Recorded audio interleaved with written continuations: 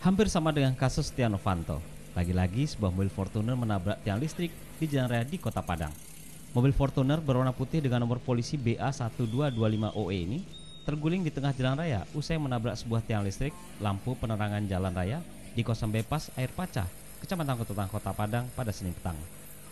Dari keterangan sejumlah saksi mata, di TKP mobil tersebut melaju kencang dari arah Bandara Internasional Minangkabau menuju Pelabuhan Teluk Bayur dan tiba-tiba hilang kendali sehingga menabrak sebuah tiang listrik di kawasan bypass air paca. Diduga pengendara mobil tersebut dalam kondisi mengantuk saat mengendarai mobil tersebut, ditambah kondisi jalan yang licin karena diguyur hujan deras. Beruntung, sopir mobil berhasil selamat dan dievakuasi oleh warga ke rumah sakit terdekat karena mengalami luka ringan di bagian kepala. Agar tidak mengganggu akses jalan, mobil tersebut akhirnya dievakuasi dengan menggunakan mobil derek milik Satlantas Polresta Padang. Akibat kejadian ini, arus lalu lintas di kawasan terganggu dan terpaksa dialihkan ke jalur yang berlawanan hingga satu jam. Dari Padang, Budi Sunandar, iNews melaporkan.